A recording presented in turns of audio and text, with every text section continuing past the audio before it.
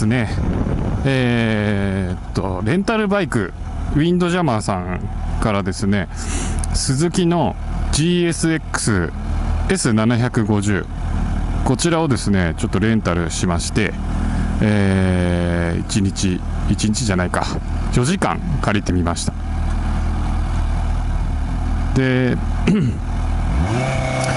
スズキのこの GSX S750 なんですけども結構珍しいバイクらしくてあんまり店頭展示がなかったりとかで試乗車はもう本当に置いてないっていう状況だったのでまああのー、今大型の選んでる大型バイクの候補の中の一つでもあったので、まあ、なんとかして乗れないものかなと探しておりましたらあのレンタルバイクのお店で取り扱いがあるっていうことだったんで、えー、今日はちょっと仕事のついでにですね、あのー、借りて4時間ほどあの試乗というかまあやってみたいなとやってみたいなと思っております。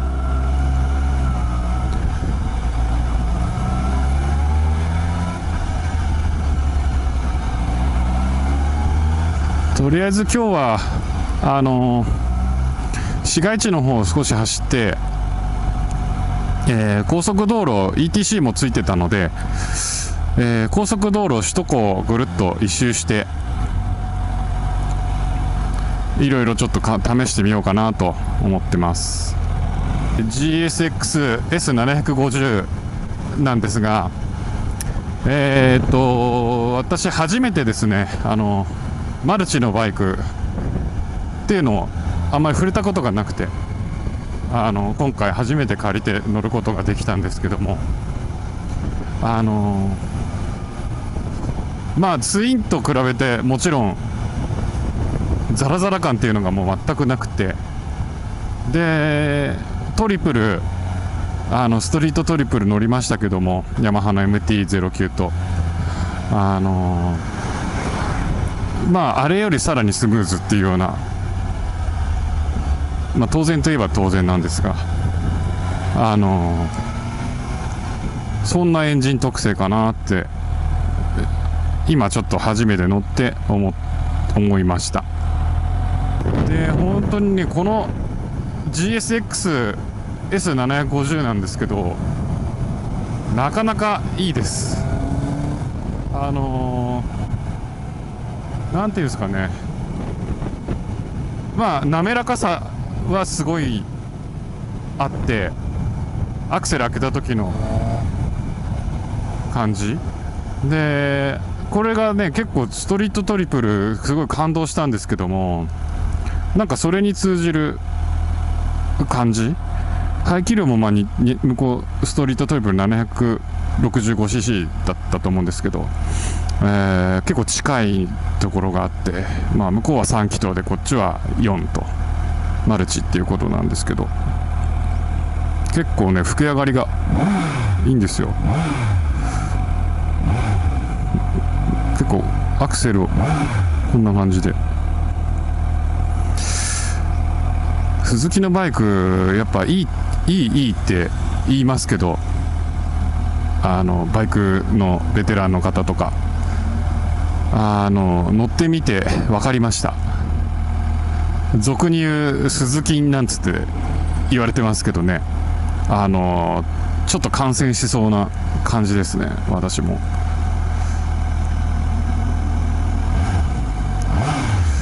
なんかバイク前としてるというかなかなかいいですね。で形なんですけどね結構このタンクのところが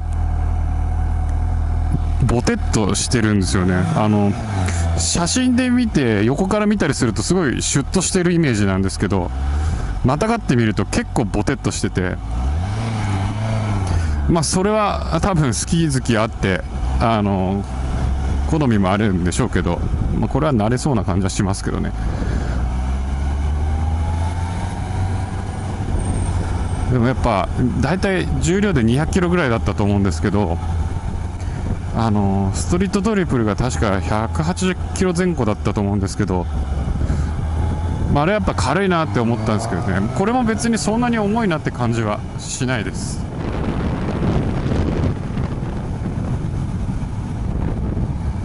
でやっぱリッターバイクと違ってあのー、この GSX も S1000 っていうのがあるんですけど多分あれだとパワーがありすぎちゃって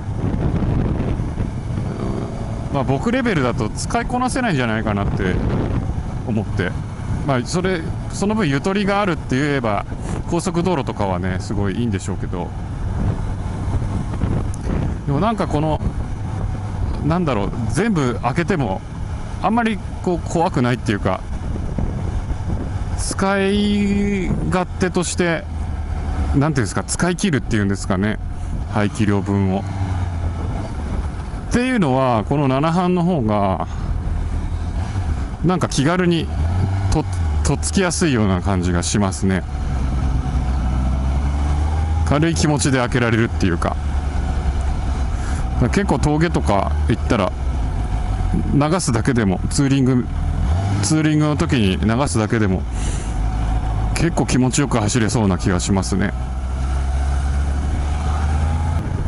いやでもやっぱり多気筒エンジンっていうんですかね。マルチのエンジンって本当に気持ちいいんですね。も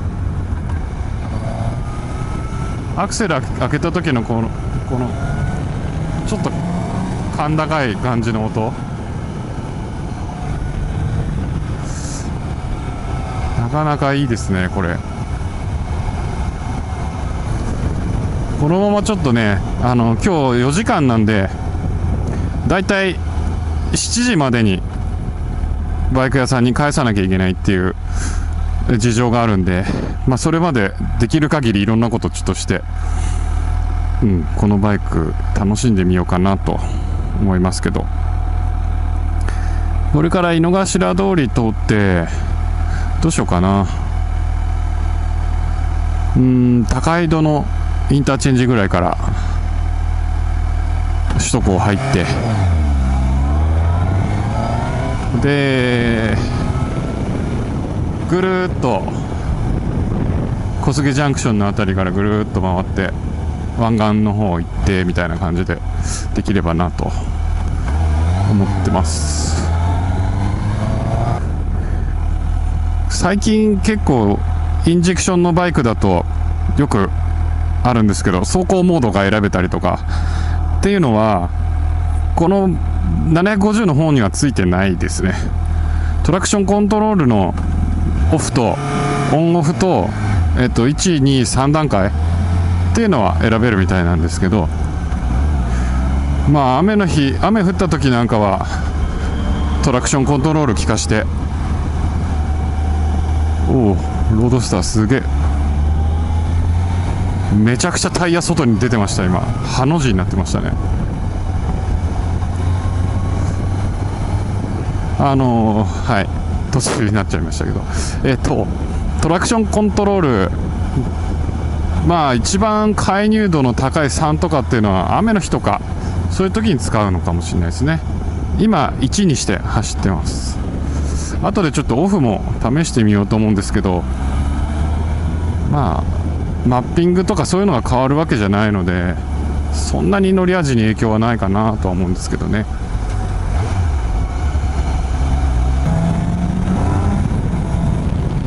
うん。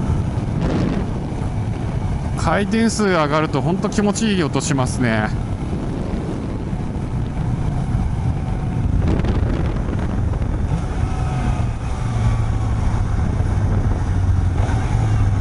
であとこのシフトインジケーターついてるのやっぱいいよな。今何速に入ってるかって。こうねニュートラルと。1 2、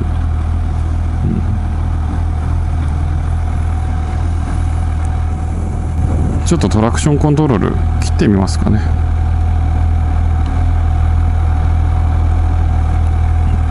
今オフにしました。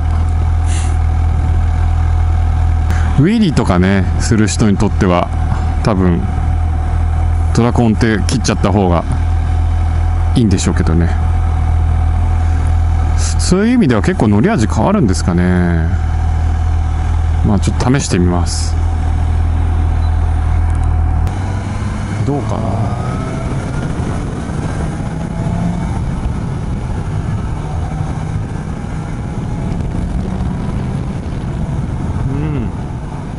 まあトラトラコン切ってますけどどうなんだろう。あんまり。ああでもやっぱグッときますね。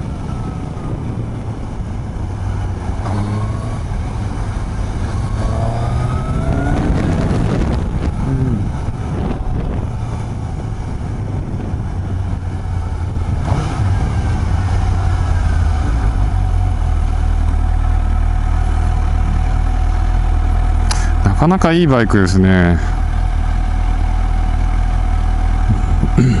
で値段がねこれ結構だいぶ安いんですよね。ライバル勢と比較しても。1ランク安いっていうか。トライアンフがストリートトリプルまあ最上級モデルなんで RS で乗り出し価格大体150から160ぐらいなんですよ。でこの7班の S7 班が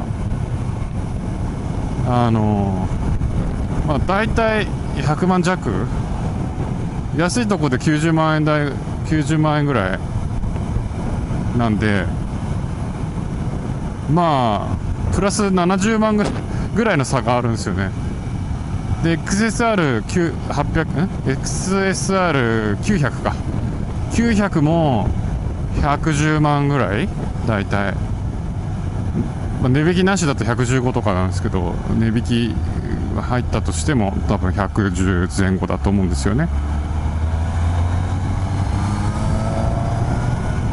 でまあ川崎の Z650 なんかと多分はもうちょっと安いのかな。でも多分同じぐらいだと思うんですけど。それだったらやっぱこのマルチで90万円前後ぐらいの乗り出しでいいですよね。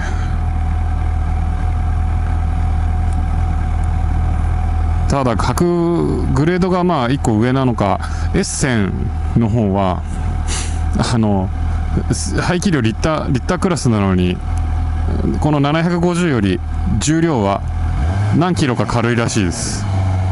すごいですね。フレームがアルミとか使ってるみたいでこっちはスチールなんですけどでもまあそんなに言ってもアルミのフレームが必要とかそういう次元じゃないんで自分は。十分この200キロ前後でこう倒してもやってもすごいヒラヒラするし重々しさは全く感じないですね。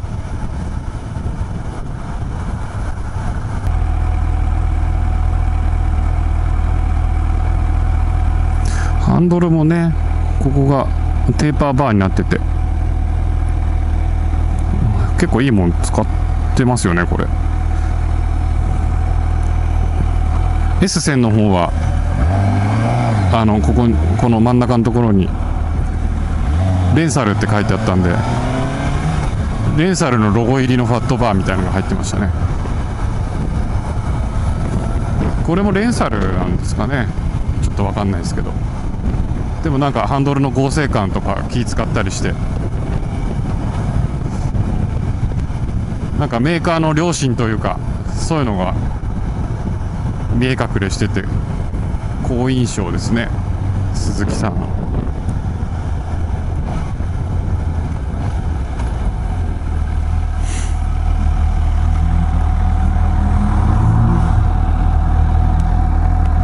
足つきは身長177の私僕がまあ両足べったり。です。特に問題ありません。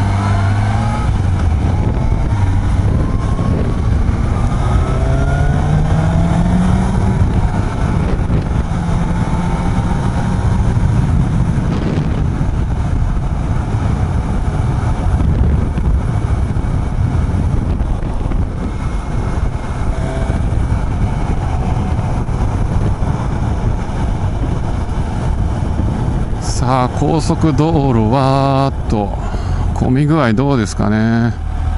まあ結構今日は空いてるのかな。C1 周り。そうですね。ジャンクションとこはちょっと混んでるぐらいで。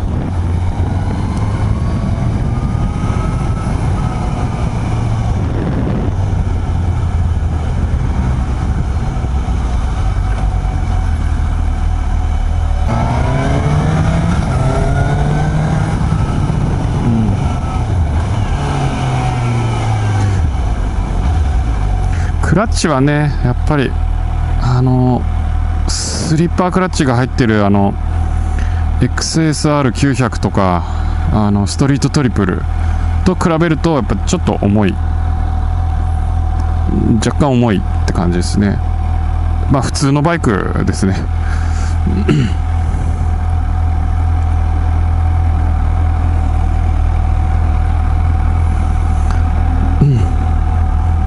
サスペンションは倒立。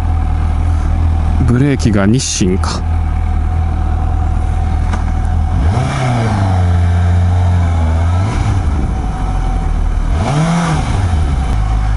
まああのストリートトリプルの時に感じたあの RS の方ですけど大輪図のサス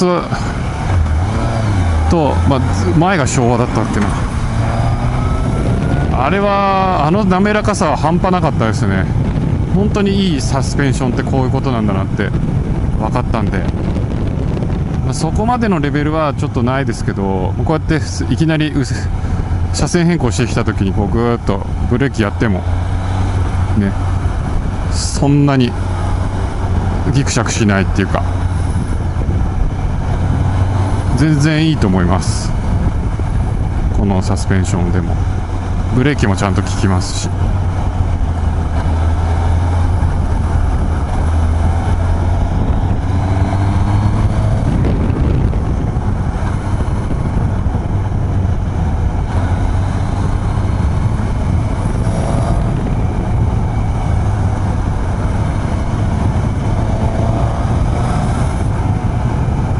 まあポジションも楽ですね。ちょちょっと起き上がった感じになりますけど。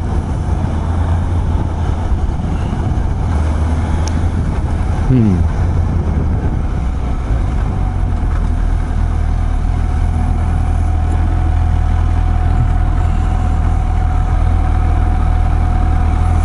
このねバーハンもなんかちょっと最近ここから下がったようなシルエットがセパハンつけたみたいになるようなあの逆に曲がってる、えー、バーハンみたいのもありますけどね。ああいうのつけても面白いかもしれないです。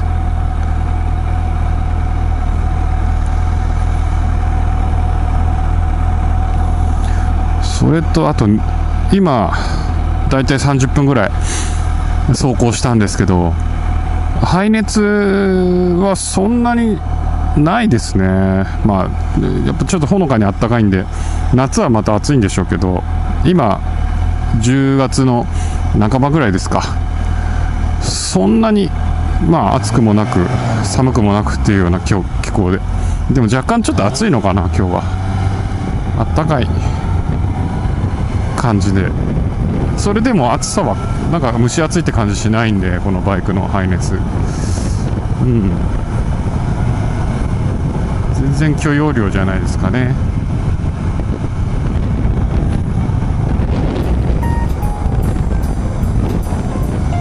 さあここから首都高入ります。うん合流も全然スムーズにできるしあーなんか3速で走ってると結構気持ちいいっすね。6000ぐらいを超えたところからの音がね結構いい感じですよ、まあ、ちょっと倒したぐらいじゃ全然不安定にならないんでノーマルでもこんないい音するんだな。うん気持ちいいっすね。こりゃいいや。